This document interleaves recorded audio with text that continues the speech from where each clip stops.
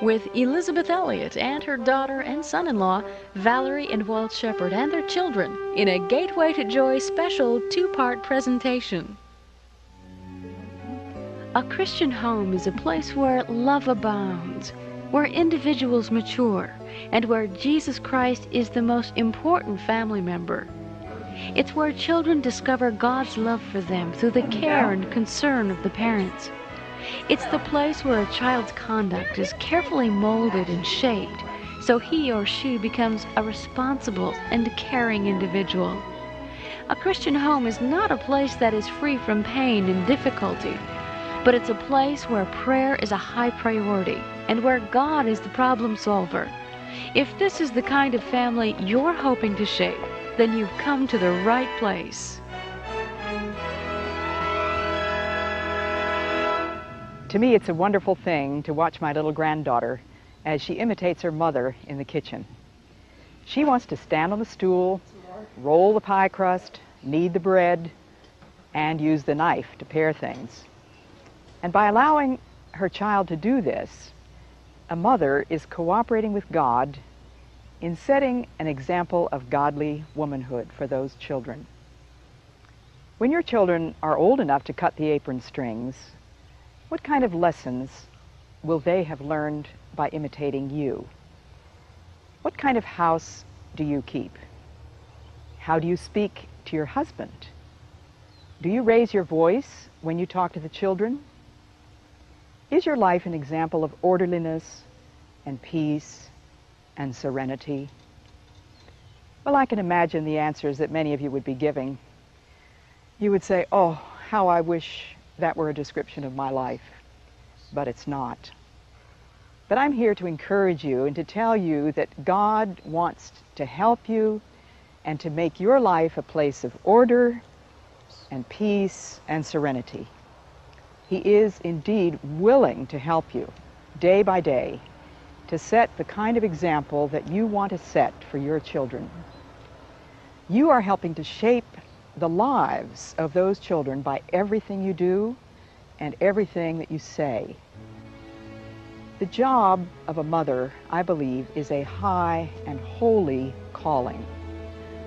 I think of my own mother and of the things which I have tried to imitate in her life. I think of the lessons that she set before us, not primarily by word, but by example. My mother was a godly woman. She was a woman of prayer. She stuck to her Bible. She read it every day and she went by the rules. She was a woman of self-discipline, always neat, feminine. She accepted her femininity as a gift from God. She believed in punctuality, and I think of her as a woman of restraint. We never heard our mother make a big fuss about anything. She was also submissive to her husband and honored him in the way she treated him. Now, these things were never formally explained to us when we were children, not that I recall, but we did understand that there was order in our home. Our father was the head. There wasn't any question about that in our minds. My mother taught us obedience. She taught us respect. She sang songs to us, she prayed with us, and she read us stories. She sometimes made up stories for us. And I can remember sitting in her lap. Yes, I think I really do remember that. The fact is that Mother was always there for us. In a world which does its best to influence all of us, isn't it encouraging to know that a mother's input is still the most significant? But even if you didn't have a great role model in your mother, God can give you the tools you need to cultivate a strong Christian family. Let's think a little bit about the basis for establishing a Christian family. I think there are three essential elements love, trust, and obedience. Now, what do we mean when we talk about a Christian family? Well, it means very simply Christ centered. a family that is centered around Christ.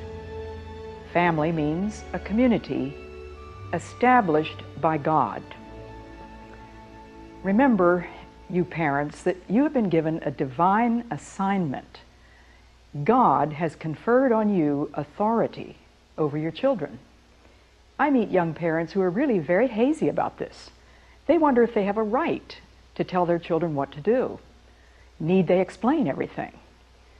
I remind them God made you the father, God made you the mother, and the father and the mother stand in the place of God for those children. Your word is God's word to those children.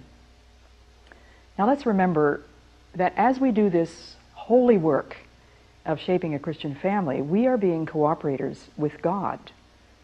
We are participators in His work in this world. And I like the expression, shapers will, who does what I say. Now, I have a friend who, when she was growing up, was told by her father, she and her brother and sister were told by their father that smoking is a sin. Now, it doesn't say that in the Bible, but the children believed that it must be God's word because their father said it, and they believed him. And they never saw their father smoke. But when they were teenagers, they discovered that their father was smoking in the basement. They found his can of tobacco, they found his pipes, and they realized that all those years that he'd been talking about smoking as a sin, he had been committing that very sin in secret. Now, what do you suppose that did to the moral fiber of those children? They couldn't help wondering if everything else their father had told them was incorrect. Maybe he was talking out of two sides of his mouth. The great question is, what do they see? Well, I saw in my parents seven day a week kind of Christians. Not just Sundays, but Monday, Tuesday, Wednesday, Thursday, Friday, and Saturday. We saw a godly mother and a godly father. Don't get the idea that I'm saying my parents were perfect, but they did set a strong and consistent example of love for God in their obedience. Now, there's another element of love which shapes a Christian family. George MacDonald said that the most important thing that a father can do for his children is to love their mother. And certainly, by the same token, the most important thing that a mother can do for her children is to love their father. And there's a third thing family is a community of love. And C.S. Lewis points out that there are some political terms, such as equality and rights, which are legitimate and useful in a political arena. But that's not the case in a Christian home. There's a different law that obtains in a Christian home, and the law is love. We need not discuss equality and rights. The parents are those who make the decisions as to who gets what when. And all of us have heard children saying, but how come he got to do this or how come she got to do that? And sometimes the answer is very simple because he's older or because this or that, whatever the parent wishes, wishes to explain. We're all meant to be servants one of another. Love for God means sacrifice. It means the offering of ourselves to each other for the love of God. It's my job, whether I'm the mother or one of the children, to be available to serve the rest of the family. And Jesus says that if we love each other, we should be prepared to lay down our lives for each other. Once love and service are in place, the next step is to establish order in the home. Not only order which is visible, but an invisible order as well. As I look through my daughter's wedding album, I think about the tremendous significance of marriage and how Paul in his epistle to the Ephesians says that it represents a great mystery, the mystery of Christ and the church. And to me, that is re- the basis on which the order of a Christian home is established.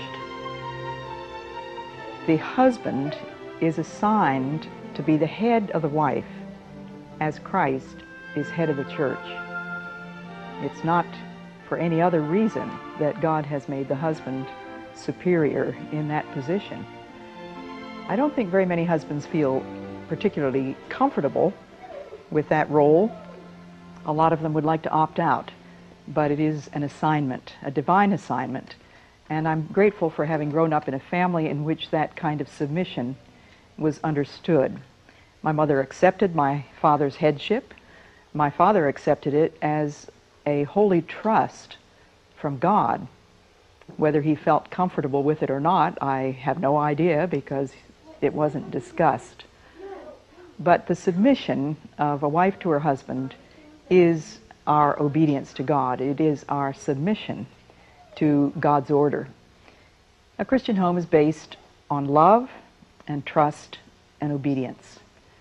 My parents loved God, they trusted Him, and they obeyed Him.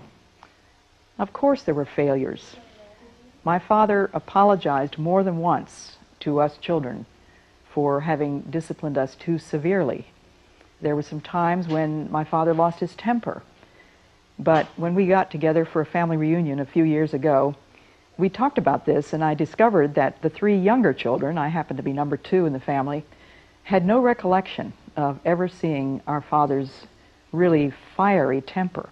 So the grace of God did go to work on him. There's a sense in which, to a small child, the father and the mother are God. That may seem startling, but I think it's true. The way they're treated by their father and mother, the love, the trust that is established, and the requirement of obedience is their first taste of what it means to love and trust and obey God. I'm thankful for parents who taught us in that way. The Lord Jesus said, If you love me, do what I say. The truly valid test of love is obedience. I think it's really the only test. It's one thing to sing about how much we love Jesus and to talk about it and write poetry about it. It's quite another thing, though, isn't it? To daily prove our love by obedience. I think sometimes he's saying to us, don't tell me, show me. Love requires also self-discipline. My parents couldn't have disciplined us if they hadn't first disciplined themselves. And we saw that in them. We were able to trust their word because they made no empty promises or empty threats. If we were naughty, we knew that we would get a spanking. To fail to punish an offense is really to de- deprive the child of his personhood, in a sense, because children need to learn very early that actions have consequences. We trusted our parents' word, we knew they meant what they said, and therefore it's been much easier for us to believe that God means exactly what He says. Many people don't have the kind of a home background that I had. I would say probably most people don't. I'm very privileged and very blessed, and it sobers me to realize that to whomsoever much is given, of him shall much be required. But if you didn't have a father, or you didn't have a father who exemplified the principles of God's Word, you can remember that your Heavenly Father is all that your own father wasn't. Our parents also gave us a strict idea of lying. They taught us a high respect for truth and even a strict respect for truth. They would not tolerate lying. They didn't lie to us, they didn't expect us to lie to them. Well, I think on at least one occasion, and only one that I can remember, I lied boldly right to my mother's face. You know what she did to me? She hustled me out into the back shed, which was a sort of a lean to behind the kitchen where the wash tubs were. And she took that old yellow bar of laundry soap, which tasted absolutely horrible, and she scrubbed my mouth out with a very rough washcloth and that yellow soap. Now, as far as I can remember, that was the last time I ever dared to lie to my mother. I thank God for that kind of a home. Is that the kind you would like to establish?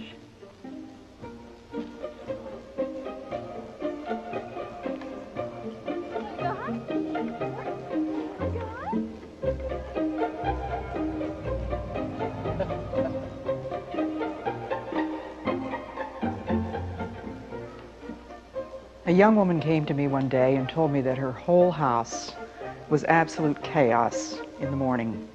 She said, I don't know what to do about it. Everything's out of order. The breakfast is chaos. The kids go to school. Everything is a mess. I don't know where to begin. Well, as I questioned her a little bit, I discovered that the poor lady never put her clothes on until about 11 o'clock. She didn't get dressed. She didn't make her bed. She didn't wash the dishes. So I suggested something which seemed to me a very simple answer. I said, why don't you just try getting yourself out of bed a little earlier in the morning, 6 o'clock, 7 o'clock, whatever you need to do, and get your clothes on so that you won't look like a wild witch for your family. You might even make your bed before breakfast. You might be amazed at what a difference this will make in your life. Well, I had a letter from her later. She said it worked. I can't tell you what a difference it's made. But it was as if the idea had never crossed her mind. She said, Wow, I never thought of that. Well, it's funny how a little simple thing may never cross our minds until somebody else suggested it. One of the rules of our home was punctuality. My father was a stickler for being on time because he said, if you're late, you're robbing someone else of his most precious commodity, which is time. We had to be punctual in our family because my father had a commuter train to make. There was no flexibility whatsoever in the time that that train left the station. We had to be at breakfast on time in order to finish on time, in order to be at morning prayers after breakfast on time, in order that my father could leave on time to get to the station on time. And that's the way it was. Sometimes I used to stay with a missionary family when I was a missionary in Ecuador. And one evening, the wife said to me, Supper will be at six o'clock. At which point, the husband just sort of rolled his eyes and he said, Honey, why do you say that? And then he looked at me and he said, I don't know why she says that. He says she tells us every night the supper's going to be at 6 o'clock. It might be at 6.30. It might be 7.30.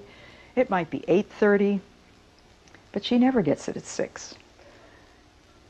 Let's be realistic in our aims. It's impossible, of course, for all of us all the time to be perfectly punctual.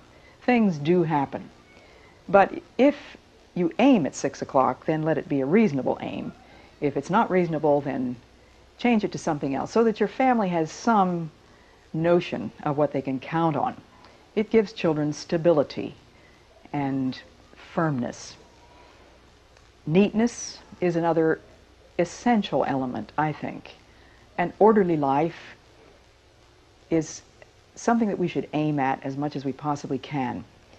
For example, do your children get a game out, play the game, and then go and get another game out without putting that game away. I've always tried to emphasize the fact with my grandchildren that it's a good idea to put away one set of toys, the Legos or the puzzles or the doll clothes, before they get out the next set. Well, it has to be line upon line, line upon line, precept upon precept, precept upon precept. That's what the prophet Isaiah said. Neatness is an essential. In the book of Proverbs, 25, 24, it says it's better to dwell in the corner of a household than with a nagging wife and a brawling household. Is yours a brawling household? It can be different. The Lord can help you with that. I visited one home where things were generally in chaos there would be laundry on the sofa, laundry on the coffee table, dirty dishes in the sink, The poor, harried mother was desperately trying to feed a two-year-old who was rubbing applesauce in his hair at the same moment. And just then, down the stairs came the four-year-old, pulling the toilet paper, which he had brought from the bathroom, down the hall, down the stairs, and into the living room. At the same time, several of the children were running at each other with a vacuum cleaner. What do you do? The poor wife, she said to me, I don't know what to do with these kids. Nobody listens to me. Ask the Lord to help you. You know, my heart does go out to mothers of young children. I wouldn't be doing this video if it weren't for the fact that I understand. I have visited so many homes. I know what it's like. But I do think that the Lord wants to help you. If you've failed, confess it to the Lord, and don't be afraid to tell your children that you make mistakes. You're fallible. You can't do it right all the time. And you know, it will do the children good to see that even their mother and their father have to go to the Lord for wisdom. They don't have all the wisdom that they wish they had. I've described a peaceful breakfast and a peaceful home. One of the things that my parents required of us that was that we learn to sit still. It's a good, healthy thing for children to learn to sit still. There were four areas in which we were taught to sit still. One of them was church. But you're not going to be able to teach your children to sit still in church if that's the only place that they have to sit still. We had to sit still at the table. We were not allowed to leave our chairs without being excused. We had to sit still at family prayers and in the car. In those days, of course, there weren't any seat belts. So it was a matter of life and death for us to learn to sit in our place. It's quietness and stillness that will do a great deal toward bringing peace and order into, into your home. Is there a place for everything? I know how difficult it must be because many people don't have a lot of space in their homes, but you do have a lot of stuff, don't you? We didn't have that many things when I was growing up. That is certainly one of the great differences between the home in which I grew up and homes today. I grew up during the Depression. I don't remember having more than two pairs of shoes at a time. I never had more than one doll. We had a few games, a few little toys. But when I see what my grandchildren have, I understand the difficulty of finding a place for everything and putting everything in its place. Learn to sort out on a regular basis.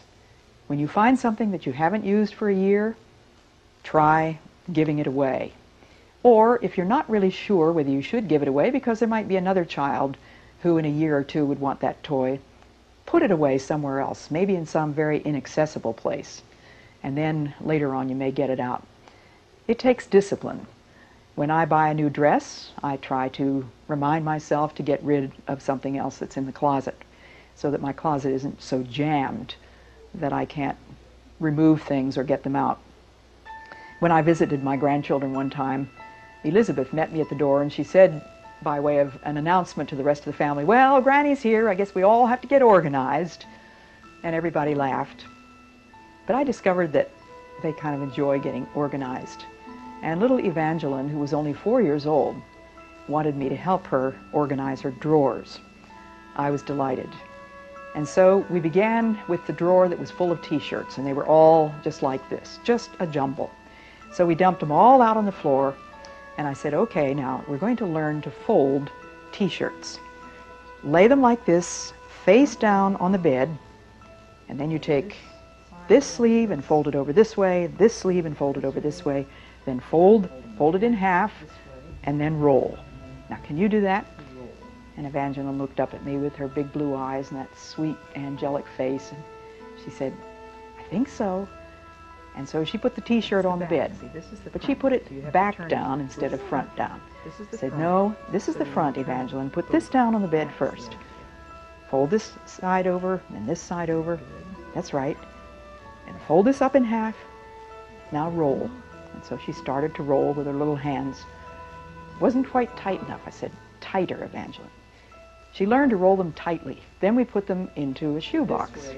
T-shirts were small enough so that they fit very neatly into a shoebox. When she opened the drawer, there was the shoebox and she could see every single T-shirt.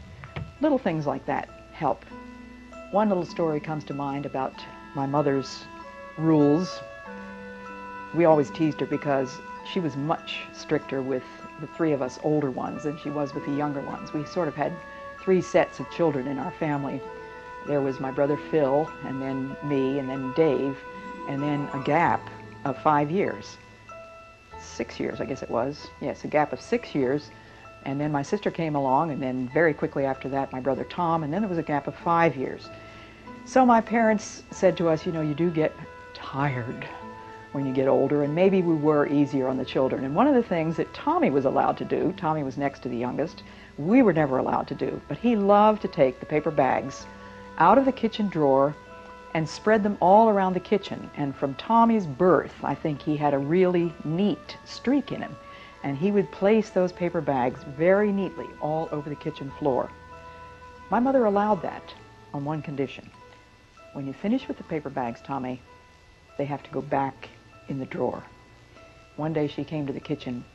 The paper bags were spread around in the usual fashion. Tommy wasn't there.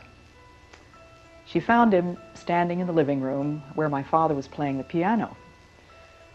She said, Tommy, I want you to come put the paper bags away.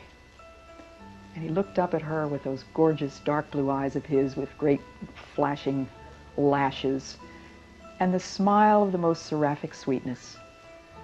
And he said, But I want to sing Jesus Loves Me. Well, my father took the opportunity to point out that it's no good praising the Lord if you're being disobedient to your mother. To obey is better than sacrifice. I guess we should never underestimate a child's ability to try and outsmart his parents. Even the youngest children can give a mother and father a run for their money. I'd like to talk this time about behavior, training the will of a child, and teaching him to work. Three very important elements in shaping a Christian family behavior, the training of the will, and work. I had a very enlightening experience a year or so ago when a young couple asked me if I would be willing to meet them in a restaurant for a meal so that we could talk about child training. They had an 18 month old son that they didn't know how to control. And they said they didn't come from Christian families, either one of them, and they were at a loss as to what to do. I was delighted with the invitation. I'm always eager to do anything that I can to help young parents in this predicament. But I must confess that I was taken aback when the couple arrived in the restaurant with the child. It had been my hope that they would leave him at home with a babysitter so that we could have uninterrupted adult conversation.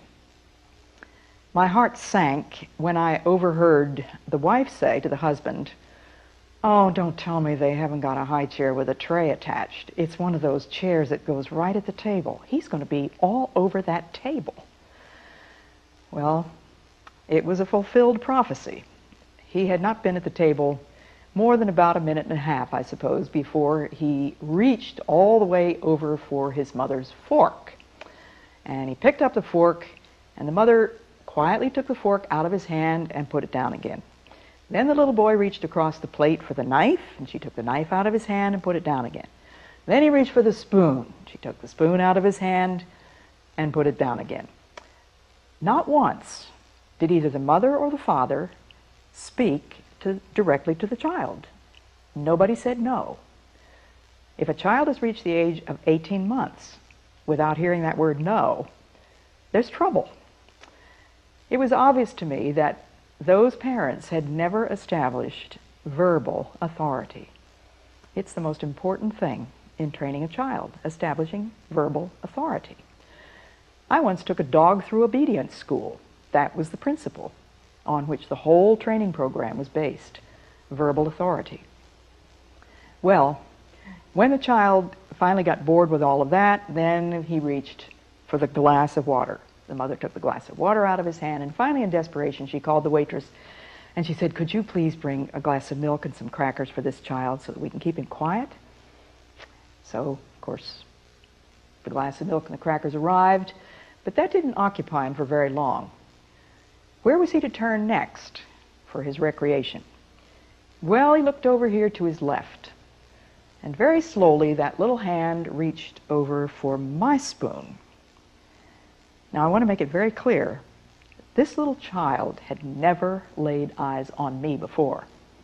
He didn't know who I was, but he didn't know what he was up against. You know what I did? I just lowered my head a little bit and I looked him straight in the eye and I said, Jeremy, no. And that little boy just went, What did that say about what that little boy understood? You know, parents, your children understand far more than you think they do. You don't give them credit. They're always way ahead of us. That little boy, never having seen me before, recognized the voice of authority. I spoke to him in a quiet tone. I spoke his name, and I just said one word no. I was hoping the parents would get the message. As far as I could tell, they didn't get the message. All through the meal, they were talking with me, asking me questions. We were trying to have uninterrupted conversation. But every now and then, the mother would have to remove something from this little boy's hand. Toward the end of the meal, after the dessert, I could see that little boy's eyes go to me. And pretty soon, that little hand just began to move very surreptitiously toward my spoon again. You know what I did this time? I didn't say a word. I just looked him in the eye. And that little boy turned away with a pout. Verbal authority. You will save yourself infinite pains, infinite frustrations and impatience, and the possibility of getting angry. I can understand why parents get angry if they repeat commands over and over and over again. And they think that the child who is obedient was born a good child. They think they just got bad kids. Well, that's not the case. There are four simple principles, very simple principles. Number one, speak the child's name. It's very unfair to just shout a command at a child who may be very occupied with what he's doing, if he's pulling the books out of the bookcase or something like that. Just speak his name. He turns around. You establish eye contact. You speak in a normal tone of voice, not baby talk. Children don't make up baby talk by themselves, you know, they're taught baby talk by foolish adults. And the fourth principle you speak once. When you repeat yourself, then you are training the child not to obey. That child's obedience has got to be based on verbal authority. If, you, if the child knows that you're going to repeat commands three or four or six or ten times until you're probably raising your voice, you're losing control, you have trained the child that he need not pay any attention the first time. He need not pay attention to the ordinary tone of voice. You begin screaming. You don't realize it and you get angry. That, I think, is probably one of the reasons for child abuse. Parents get so impatient, they lose control of themselves. And that's dangerous because then the child is likely to be abused. So these were very simple principles. I established eye contact by calling the little boy's name. I just spoke his name in a normal tone of voice. I spoke once, and he understood. He got the message. Now, some of you are saying, Well, I've made a whole lot of mistakes. It's too late now. What am I supposed to do? My child is not 18 months. He's three years old, or he's six years old, or he's eight years old. He never listens to anything I say unless I scream at him. You know, you can start over. You can just say to that child, Your mama has learned something. That may be a big shock to your child that you can learn something, but you can say, we've been making some mistakes. And we are going to do it differently from now on. I'm going to speak once, and I will expect you to obey me. You know, it's amazing how wonderfully children live up to parents' expectations. If you expect your children to act like little devils when you go into the grocery store, they will act like little devils. If you expect them to be out of control when you go visiting in somebody else's house, they will be out of control. The control has to be established verbally at home. So never, don't hesitate to apologize to that child. Don't hesitate to say, we've made some mistakes and we need to start over. But be consistent. Be very careful what you make issues out of. If you make issues out of everything, it's impossible to carry through every time. Think and pray in advance about the things that really matter. Discuss them with your husband, with your wife. Ask the Lord to show you what are the things that really are important. Unselfishness, respect, teaching the way they treat their brothers and sisters, picking up their things, whatever the things are that are very important and that need to be done every day, those are the things to make issues out of. And then when you make an issue, you must carry through. And there has to be punishment. I had a letter from a mother who asked me what I thought was a very strange question. She said, I have three daughters and one son.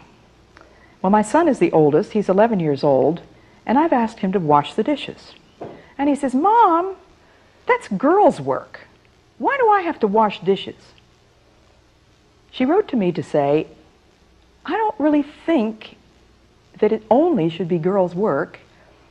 I feel pretty strongly that my son ought to learn to wash dishes, but I'm not sure why. Can you give me a good reason to give him? And I thought, there's a very simple reason. Just tell him you're a member of this family. We serve each other. I cook the meal, you're going to wash the dishes sometimes. Or you can wash the dishes with your sister. He doesn't need any more of a reason than that. You ask him to do it because it is a legitimate and reasonable request that has to do with the good of the whole family. So, authority. Obviously, the parents who are bullied by their teenagers have not established it early enough. May God help us to do His will, to bring up our children according to His Word. And you know, the Bible says that the father who does not discipline his son hates his child. Shaping conduct can seem like a big challenge, but what if you're also dealing with a strong willed child? I'd like to talk a little bit about this subject of what is called the strong willed child. Young parents often say to me, Well, I got a really strong willed child. And I ask, What do you mean by that? Well, he wants to do what he wants to do when he wants to do it. He doesn't want to do what I want him to do. And I say, well, what else is new? I don't think that that is a very accurate term to use according to the description that the parents have given me. That describes a stubborn child, a rebellious child, a willful child, not a strong willed child. I believe that the definition of strength of will is the ability to will against oneself. That is the highest thing of which a human being is capable. And it is the solemn responsibility of parents to teach their children to will against themselves, not to be self indulgent, not to cater to every whim. It's a tough job, isn't it? And again, it's a job with which the Lord will certainly help you. But basically, we're all rebels when we're born. That, that's just the truth about all of us, isn't it? So we need to teach the children that there are times when we will withhold things from them that they want. Someone has said that one of God's greatest mercies is his refusals. A wise father will say no to the child that wants two popsicles just before supper. Why can't he have two popsicles? The father has wisdom. It's not good for him. You don't need to explain all the reasons. You just say no. When the child is old enough, perhaps there are times to explain your reasons, but don't always feel obligated to explain them. I like the poster that I saw of a mother hen with a flock of little chicks. The legend on the poster is, because I'm the mama, that's why. That ought to be enough of a reason. Well, this business of giving your child what is good for them, withholding from your child what is not good for them, it takes discipline on the part of the parents, self discipline. If you haven't taught your children to will against themselves before they reach teenage, you're going to have a tougher job, a much tougher job. I recommend that you start when the child is very young. I once saw a television program, the subject of which really captured my imagination. It was parents who are bullied by their teenagers. I thought, what? Bullied by their teenagers? One woman on the panel said, If I ask my son to take out the garbage, he's 16 years old, and he will look me in the eye and he will say, I will take out the garbage when I want to.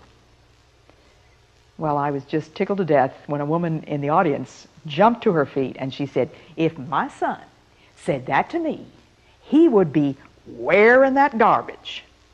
Well, of course, that brought down the house. But there are going to be some real clashes, aren't there, between a godly parent and a willful child. And my mother tells the story of her first real showdown with her first child. My mother had six, and the oldest was my brother Phil. We lived in Belgium at the time. That's where I was born. My parents were missionaries for a while. And Phil was about two years old, and he was in his high chair. And he had finished everything in his lunch except his milk. He hadn't drunk his milk. So, mother was doing her things there in the kitchen, and Phil sat in the high chair. Suddenly, a little voice piped up and he said, Want to get down? And so mother said, As soon as you finish your milk, Phil, you may get down. And she continued her dishwashing.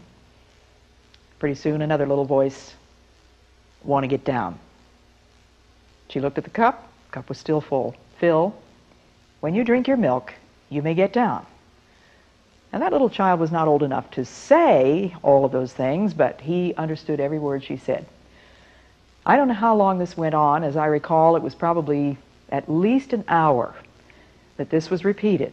Want to get down? You may get down when you finish your milk. Want to get down?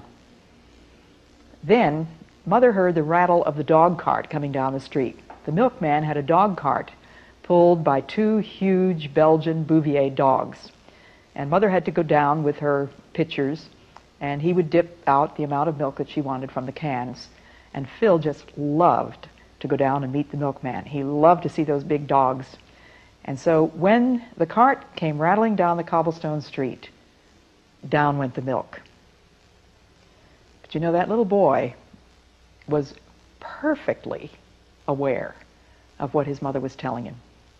And he knew that there was no chance that he was going to see the dog cart that day if he didn't drink that milk first. Years later, when Phil was in the army during World War II in Italy, he wrote a letter to my parents and he said, Thank you for teaching me obedience. It has been so much easier for me to obey my commanding officers in the army than it has been for many of my fellow soldiers they spend a lot of time being punished because of disobedience. Thank you for being consistent in teaching us obedience. I remember very well when my daughter Valerie learned to crawl. I think that's the crucial age at which you must establish verbal authority because that's the age at which the child can do real damage, not only to your property but to himself. He can get into things he might get into poisons under the sink. He might get into other things that he's not supposed to touch. Whatever, be sure to establish verbal authority. Now, we lived in the jungle of Ecuador at that time, and we didn't have very many precious things. The most precious possessions that Jim and I had were books. And we did not want that little child messing with our books. One day we were sitting in the living room. Valerie was crawling around on the floor, and her eye went to that bookcase. And she started to make a beeline across that floor toward the bookcase. And Jim spoke her name, Valerie. She turned around and looked over her shoulder with a very mischievous, and I felt defiant look. And he said, No. And she, quick as a wink, went straight to the bookcase, pulled a book out of there, and tore a page. And looked back with that same defiant look. She understood us. She disobeyed. She got a spanking. As far as I can remember, that was the first spanking she ever had, and it was the last one she ever got from her father because he died about two months later. But it was a lesson that stuck. And she never pulled a book out of that bookcase again. But she did test us. Don't be surprised if your children test every line you ever draw. My father always said, wherever the line is drawn is where the battle will be drawn up. If you move the line, you gain nothing. That, too, is where the battle will be drawn up. So the next day, or the day after, again we were sitting in the living room, and again Valerie was watching us with a mischievous gleam in her eye. And she started across the floor toward that bookcase. All we had to do that time was look at her. Here she was looking at us with that defiant look over her shoulder. And she just crawled away as if she had no intention whatsoever of touching those books. And she never touched them again. Now let me go over the four principles which are so clearly illustrated in this little story. Number one, Jim spoke her name. He was sure he had her attention. She turned when he spoke her name, and he established eye contact. Principle number two. Number three, he gave a command, the word no, in a normal tone of voice. Now, when you speak in a special tone of voice, baby talk, or a shrill or a loud tone of voice, you are conditioning the child not to listen to any other tone of voice. Speak in a normal tone of voice and give a simple command. And I think the first two commands that a child needs to learn are no and come. So the fourth principle was speak only once. If you repeat the command, you are training the child not to obey the first time. I think one of the silliest things that I see parents do is give a child a countdown 10, 9, 8. And that child has been trained to know that he does not need to obey until the father gets down to 2 or 1. Or perhaps the father is in the habit of raising his voice and repeating commands. That conditions the child to know that he doesn't need to bother until dad starts to yell. Terrible habit to get into. And you know you're going to save yourselves infinite pains and frustration and impatience when you establish verbal authority. Another thing that I remember very clearly from my childhood is that delayed obedience was treated as disobedience. My mother would give us a command, and if we dilly dallied around, then we were going to get the consequences. It wasn't good enough when we saw our mother going to get the consequences. It wasn't enough for us to say, Oh, I was just going to. No, delayed obedience was treated like disobedience. This concludes part one of A Peaceful Home. The balance of this presentation continues on tape two and features the shaping of the will through discipline, a special question and answer session with Valerie on hints on child training, developing a work ethic, and shaping a family's prayer life. Please view that tape when you're ready.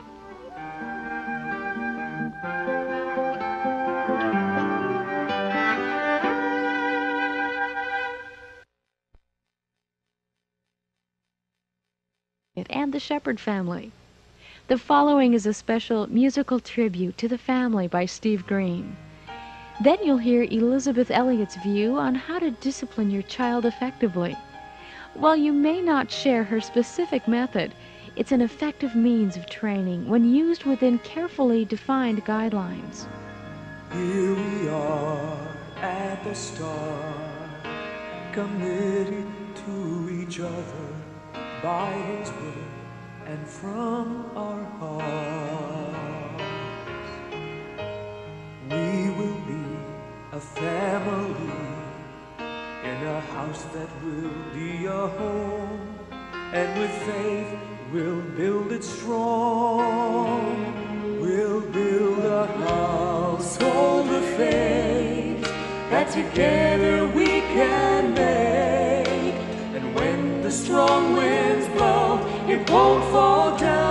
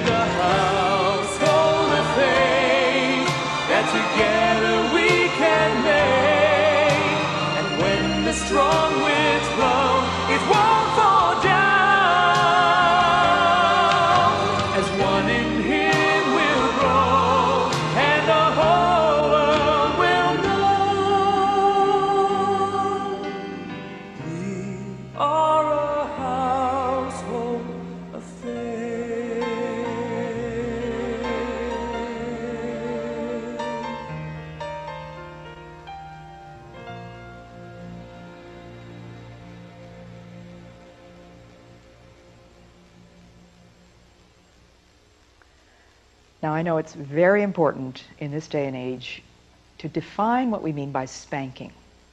I am not talking about child abuse. Child abuse is wicked, it is a sin, it is something for which you will have to answer to God. Now, what is a spanking exactly?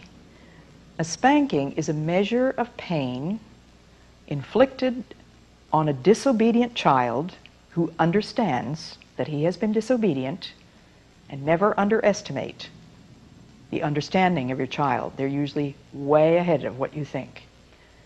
It is a measure of pain inflicted on a child who has been disobedient, and the pain is inflicted by a mother or father who is in control of himself. And that's very important. Now, my mother's method of spanking was a little 18 inch rod that she called a switch. It came from a bush in the backyard. And more than once, we children were subjected to the great indignity of having to go out and pick a new rod because one of them had been broken on somebody's little bare legs. Now, Mother never slapped us. She never used a rod on anything but a bare bottom or little bare legs. It stings, but it will never do any harm. There is no danger of any serious injury. But you have to make the child cry. A little child understands that language. He understands it very clearly. Now, my authority for this is not just my mother. The Bible speaks of using a rod. In the book of Proverbs, the rod is mentioned, I think, four or five or maybe six times. There are many instructions in God's Word. It says in there that the father who fails to discipline his son hates him. The world would put it the other way around, wouldn't they? The world would say, a parent who spanks his child hates him. That's abuse. And we get scared to death. We get all twitchy and worried and thinking that we're talking about child abuse. I hope I've made it clear. They are poles apart. The one is a parent who is not in control of himself. He has not made it clear what that child is to do. He has established a pattern of repeating or yelling or violence of some sort. A spanking is administered by a calm, controlled parent who has taught the child that he is not to do that thing. And the child's sense of justice is violated if he is not punished when he knows, as well as you do, that he was being dis- disobedient. One more verse I want to give you from the book of Proverbs train up a child in the way he should go, and when he is old, he will not depart from it. You can trust God to help you with the discipline of your children. Don't forget verbal authority. From time to time, Elisabeth invites her daughter Valerie Shepard to discuss various subjects on the radio program Gateway to Joy. Valerie has had to put parenting lessons to use eight times already in her home. Let's hear what she's learned. Val, I know that you're a full time mother, probably because you feel it's very important that you should be home with your children as much as possible. There are a lot of women who are uncertain about whether it's a good idea to be a full time mother, and I think one of their fears is that they won't be fulfilled. What would you say to them? Well, I feel fulfilled in staying at home and taking care of my children, but my time for myself is early morning before everybody wakes up. That's when I may read my Bible, or I may pray, or I may take a walk with our dog, or I may work at my desk, or uh, on Saturday mornings, my husband and I go out for a date. So I love that early morning time, and that's my special time alone with the Lord. And the fulfillment comes from just being able to take care of what needs to be taken care of every day. I'm sure that that quiet time is like a, well, it's the source of peace and serenity and order. Now, one of the things that can certainly destroy the order of a home is a child who throws temper tantrums. Have you ever had a child like that? Yes, I've had several. And what do you do with them? Well, I don't think the screaming and the kicking should be allowed. So first I spank, and then if they continue to scream, I take them into another room, usually the bathroom or the laundry room, and I tell them they have to stay there until they're ready to be quiet and cheerful. And then they come back out. Sometimes the screaming goes on in that room so that I can tell they need to be spanked again because I don't think they need to keep on screaming. And uh, I tell them they may cry quietly, then they can come back out. Doesn't always work perfectly, but as long as they know that the throwing the temper is not allowed. Crying quietly sounds like an impossibility, but I remember reading that Susanna Wesley, who had how many children? Was it 19? Just 10 of them lived. She had 19 children, 10 of whom lived, but it is said that she never permitted loud crying. Mm-hmm. And I often wish that she had put in detail How just exactly what she did about that. But my mm-hmm. mother took the view that if a child doesn't have an audience, no temper tantrum is likely to last very long. And she always had a little sort of a, uh, it was actually a cupboard that she called the crying room. And a child would be sequestered in the quiet crying room, and she would say, We don't want to see you until you find a happy face.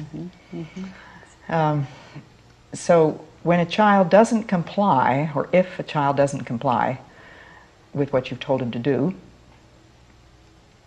what next? Do you do you, do you have to, you do have to make it perfectly clear what you're expecting of a child. Isn't that basic? Okay, yes. And if he disobeys, then what? Then spankings are in order.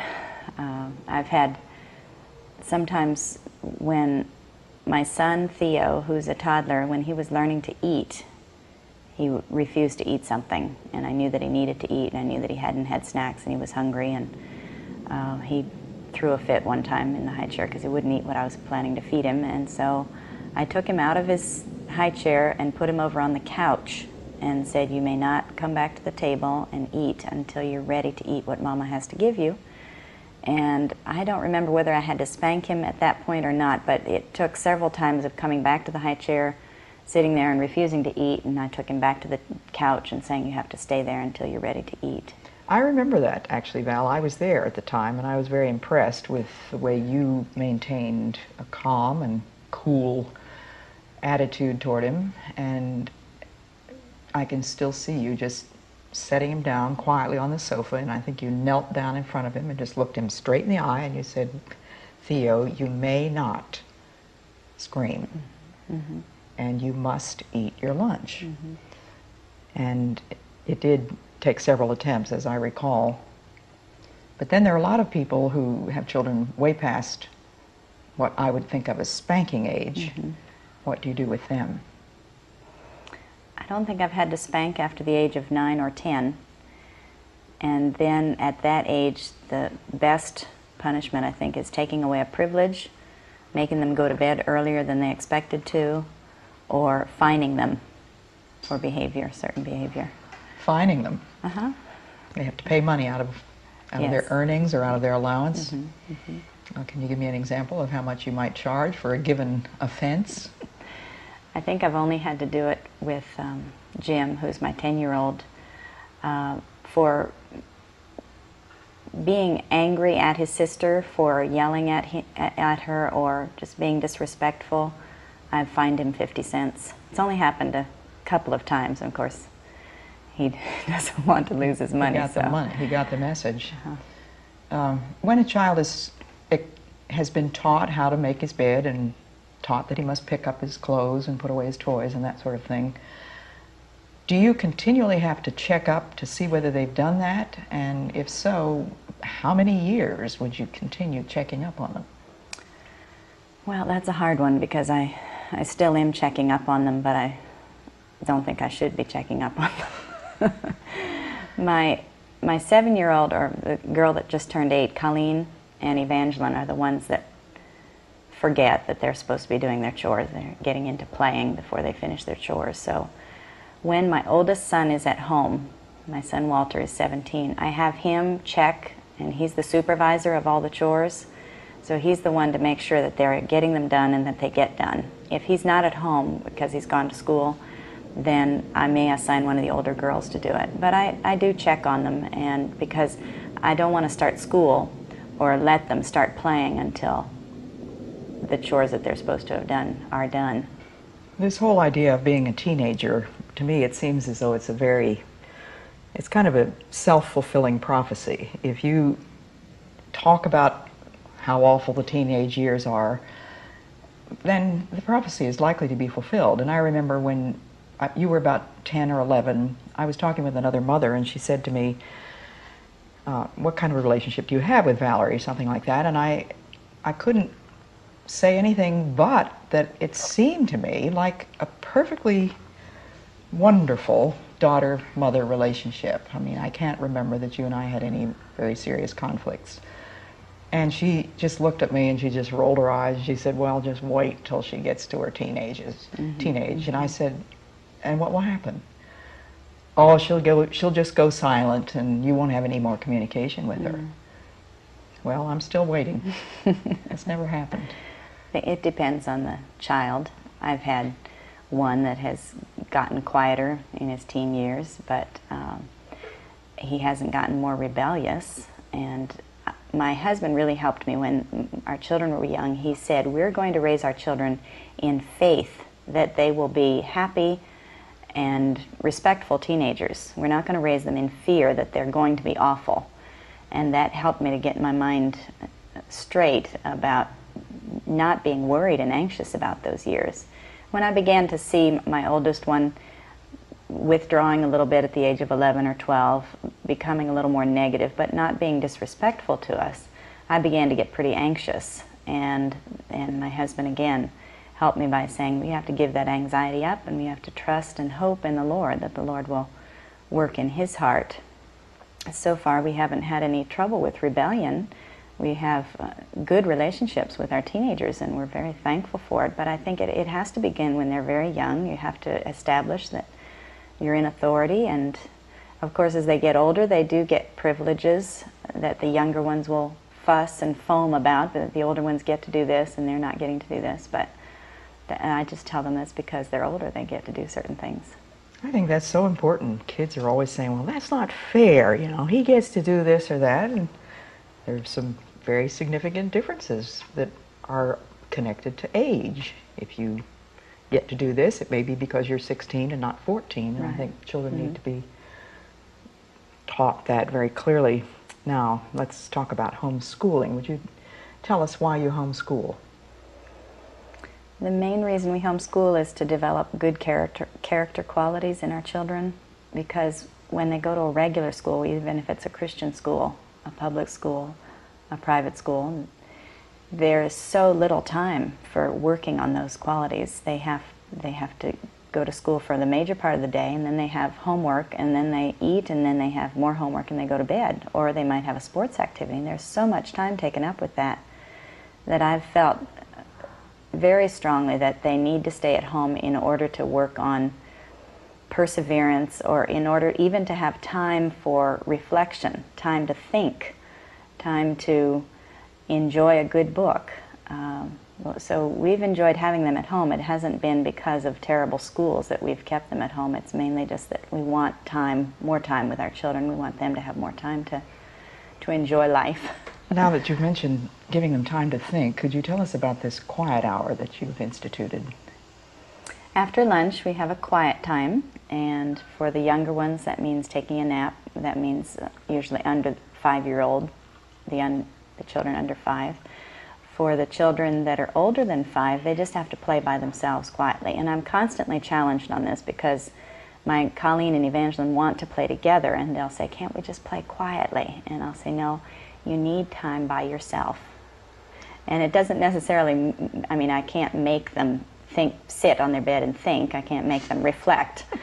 But I do believe if they just spend time alone, that eventually time for thinking will, will become part of that quiet time. I think that solitude and silence are two commodities that are very rare today, and mm-hmm. very few adults know how to spend quiet time. Mm-hmm. Mm-hmm. Everybody's got to have noise, everybody has to be entertained and amused, and I think there's a book out called Amusing Ourselves to Death. I haven't mm. read it, but it sounds like a good title.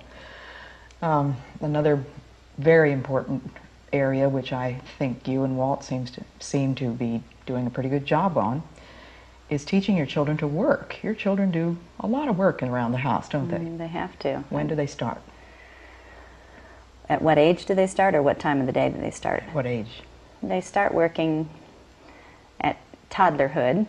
Um, my Theo is two years old, and he has started to ha- emptying the trash cans. He, he usually has an older brother or sister to help him, and he's just learning to make his bed with me or an older brother and sister. Um, he has to put away his toys. He actually enjoys doing that. He hasn't gotten to the point. They do get to a, an age, three or four, I guess, when they start to realize that everybody else complains about chores and they don't want to do them either.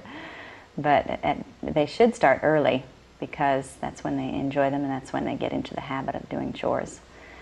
And if a child doesn't do his own chore, do you do it for him? I've been found to do it for them, but I shouldn't. I know that there are times when um, a child has gone to some activity and I've found something that didn't get done, but it had to be done, so I've had to do it. But I've had to explain to them when they come back that they were supposed to have done that chore.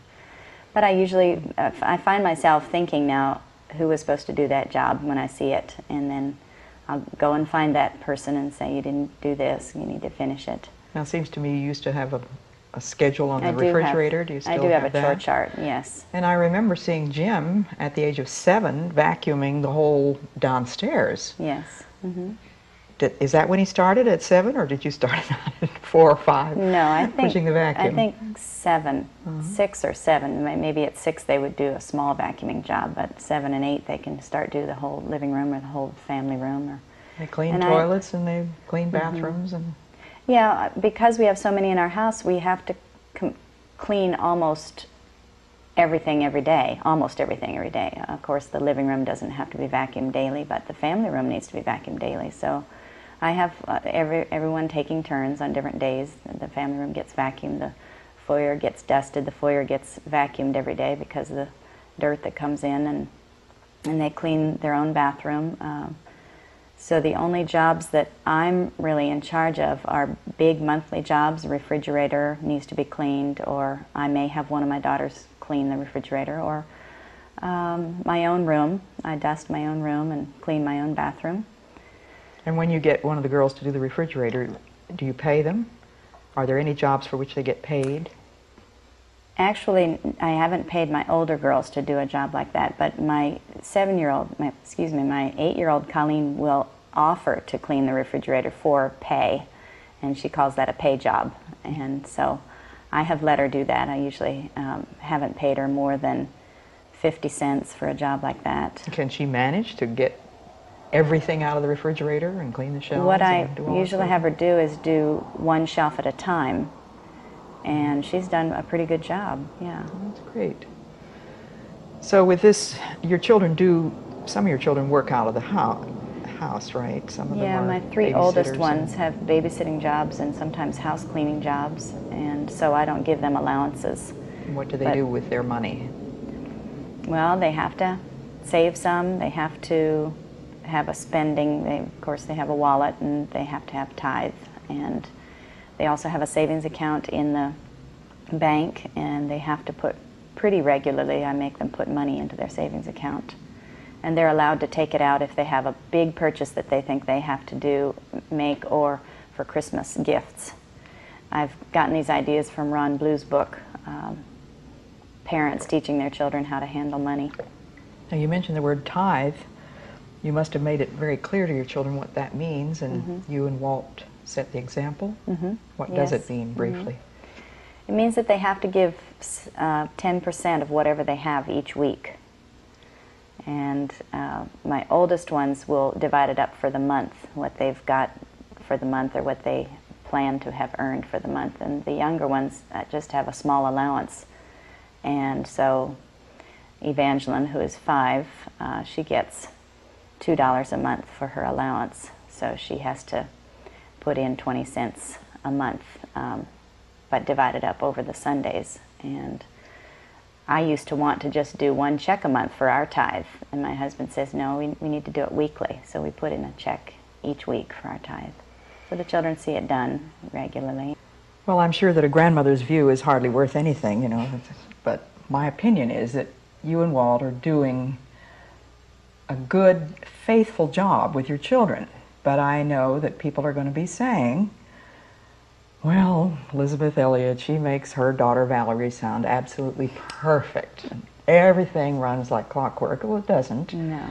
I know that, and you know that, but I am sure that you have wisdom that a lot of people will welcome, and I'm so glad that we're able to have this time. Thank you. I'm glad to be here with you. I think of work as a gift from God. It really is a wonderful gift, and I think of many tough times in my life when it was physical work that enabled me to get through. One of the maxims of my life is do the next thing. It's inscribed, I'm told, in an old English parsonage down by the sea. And my mother gave me that rule many, many years ago. I've given it to Valerie, and I couldn't tell you how many people have written to me to say that that has changed their lives. A very, very simple rule. Do the next thing. When you just are totally at a loss, what shall I do next? You want to sink into a pile of self-pity, do the next thing. Get up, bake a cake, make the beds, do the laundry, just ordinary physical work. Another thing that we need to learn is to love it. I do love the work that God has given me, and I have to confess that I really love housework. Now that makes me some kind of freak in this day and age, doesn't it? But housework is part of my job, and a lot of my job involves sitting at a desk and trying to write something. I never know what the results are going to be when I sit down to write something, but when I go to clean a toilet, I know exactly what to do.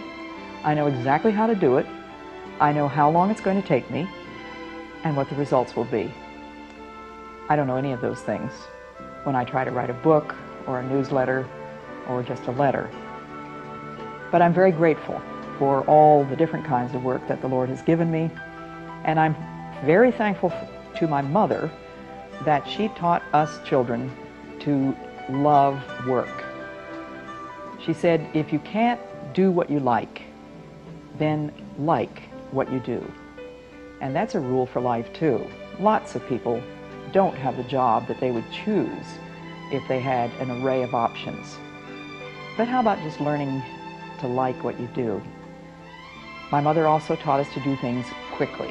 There are a lot of things that one has to do every day. You have to get yourself out of bed. You have to put your clothes on so that you look semi-civilized at some point.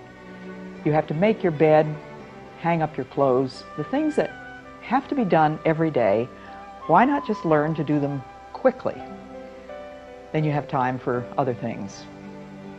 Another thing, cheerfully. Do your work cheerfully. And Valerie has told me that she can get her children to do the work that they are assigned around the house, but she said it is the hardest lesson to get them to do it without whining. And I agree that that is a tough question. How do you get your children to work cheerfully? The most important answer to that is show them the example.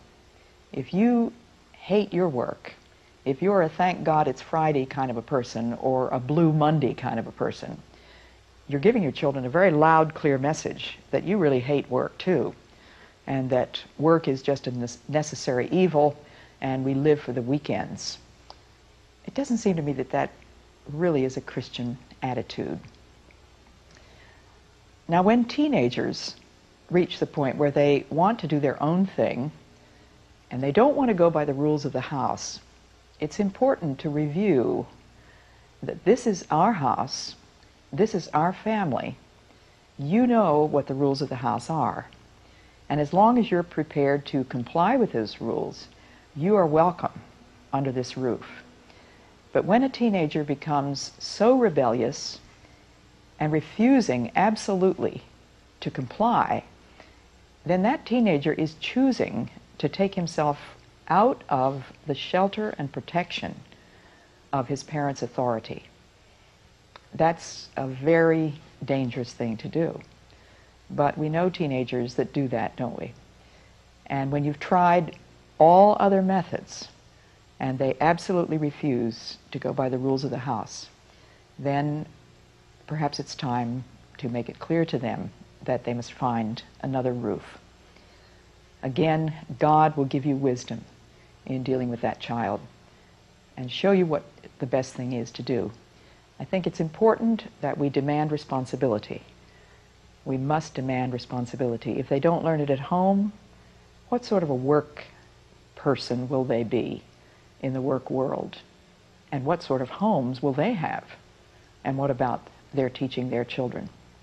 Some references that you might want to look up along these lines are 2 Thessalonians 3:10 that tells us that we should learn to be quiet, to work with our hands, and to mind our own business.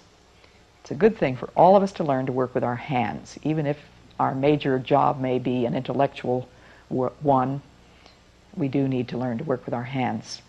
And then in John 13, we have that beautiful chapter that describes Jesus' humble, serving attitude. He accepted the place of the lowest slave in an Eastern household and got down on his knees and washed the dirty feet of his disciples. And he said, If I, your Lord and Master, wash your feet, then you must wash one another's feet. As we hold forth new responsibilities for our children, God does the same for us with a loving challenge to set our sights on things above. That's what the Bible says. And you know, my father did that. He talked about those things. And one of the times that he would talk about them with us would be on Saturday afternoons. Now, Saturday mornings, of course, in our house were given to work. We two girls did cooking and cleaning and laundry and baking and things like that. I love to bake. And my brothers would work outside with my father. mowing the lawn, shoveling snow, whatever needed to be done. And in our home, if we would complain about the rules or said to the, our parents, why do we have to do this? Why do we have to do that? Or why, why can't we do what everybody else does? They would sometimes just take us back to the scriptures and say, look, this is what God says about this, and that's why we want to do it. They were not moved by arguments about everybody else is doing it. They just said, fine, that's their business, but we don't do that because we're Christians, or we do this because this is what God says. My father took the view that if my mother was responsible for three physical meals per day for her children, he was responsible for spiritual meals. He knew that he was assigned to be the priest in the home. Every morning, he got up very early in order to have time to pray for his children. Every morning after breakfast, he herded us all into the living room. We sang a hymn together. We listened to my father read the Bible. And we got down on our knees and prayed. Now, there's one thing that's very important if you have family devotions I would suggest that it's a good idea to use just one translation, of the Bible because your children will memorize without effort if they hear the same words read over and over again. We heard the King James Bible read every day at home, every Sunday in church, and yes, five days a week, believe it or not, it was read in public schools. My mother kept a little red notebook beside her Bible. And in the first page of that little red notebook, she copied out the verse from 1 Chronicles 29 19. Mother used to tuck us into bed at night and always would sing to us that lovely little children's hymn Jesus, tender shepherd, hear me. Bless thy little lamb tonight. Through the darkness be thou near me, keep me safe till morning light. All this day thy hand hath led me, and I thank thee for thy care. Thou hast warmed me, clothed me, fed me. Listen to my evening prayer. Mother had her own private devotional time after breakfast when we had left for school and my father had gone to the commuter train for Philadelphia. Are you that kind of a mother? Are there times when you just feel as if you can't go on? There's a side of you that says, I was never cut out for the job of a mother. I don't know whatever gave me the idea that I could do this. I can't do it. It's too big a job for me. I'm confused. My mind's in a tangle. I can't get out. I feel trapped and helpless. I'm desperate. When that happens, may I suggest that you just go and kneel and ask God to vanquish those demons of discouragement and give you the strength to cooperate with Him for these little people that He has given you. You know, God has never given anyone a job to do which He would not also enable them to do. Amy Carmichael, that Irish missionary to India, wrote for her children this prayer Father, hear us. We are praying. Hear the words our hearts are saying. We are praying for our children. Keep them from the powers of evil, from the secret, hidden peril, from the whirlpool that would suck them, from the treacherous quicksand, pluck them. Through life's troubled waters, steer them through life's bitter battle, cheer them. Father, Father, be thou near them. From the worldling's hollow gladness, from the sting of faithless sadness, Holy Father, save our children. And wherever they may bide, lead them home at eventide. Teach your children to pray first by setting the example praying with them and for them. And you know, you can teach a young child, a very young child, who is only beginning to speak, four simple prayers. The first one is, Thank you, Lord. Thank you, God, for this food, for the sunshine, for Mama and Daddy, for my bed, for a nice bath. Then, bless Mama, bless Daddy, bless Susie and Johnny. And then the third prayer is, Help me, Lord, to be obedient to Mama and Daddy. Help me to do what I need to do. And then a prayer that every child needs to learn, and every one of us, you and I, need to remember, is to say again and again, I'm sorry, Lord. Forgive me. I did something wrong. Set the example of prayer for your child when special needs arise during the day. You're showing the child then, by example, that it is God who is in charge of this home. He is the one who gives you wisdom. You don't know all the answers. You trust Him. He's always ready to hear our prayers.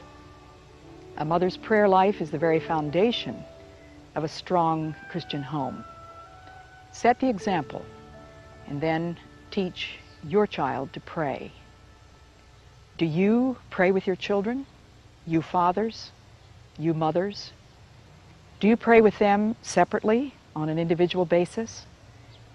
If a child comes to you with a question or a problem that you just don't know the answer to, do you put your arms around that child and say, let's ask the Lord what to do? Prayer, nurture, and admonition. And let me emphasize how important I think hymns are. As I mentioned, we sang a hymn every morning after breakfast.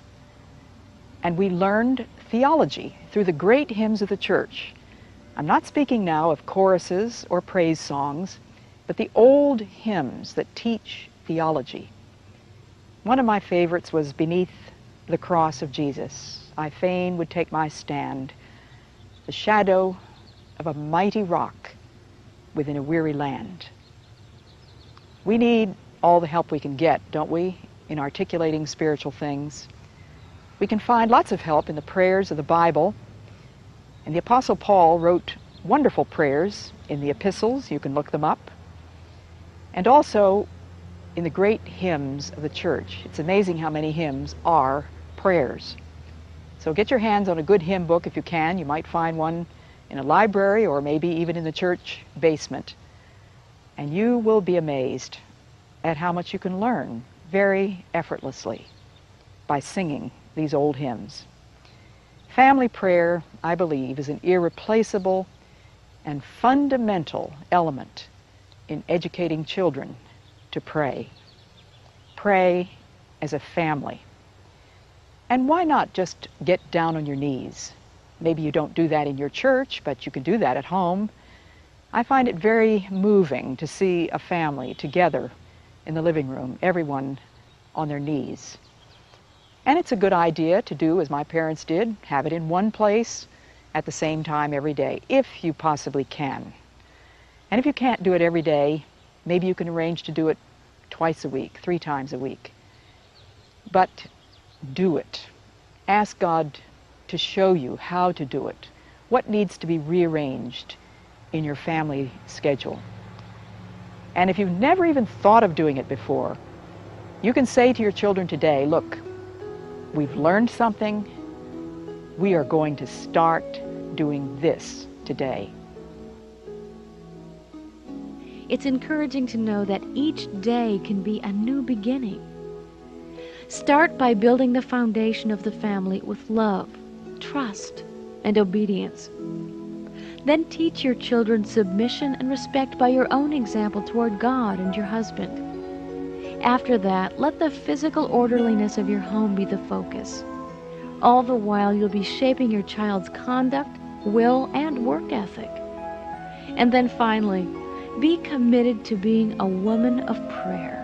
Teach your children to pray and be a family of prayer. If you've enjoyed this presentation of A Peaceful Home, then we'd like to invite you to join Elisabeth Elliot each weekday for her 15 minute radio program, Gateway to Joy. If you're looking for additional information related to both family and home, here are a few other Gateway to Joy resources.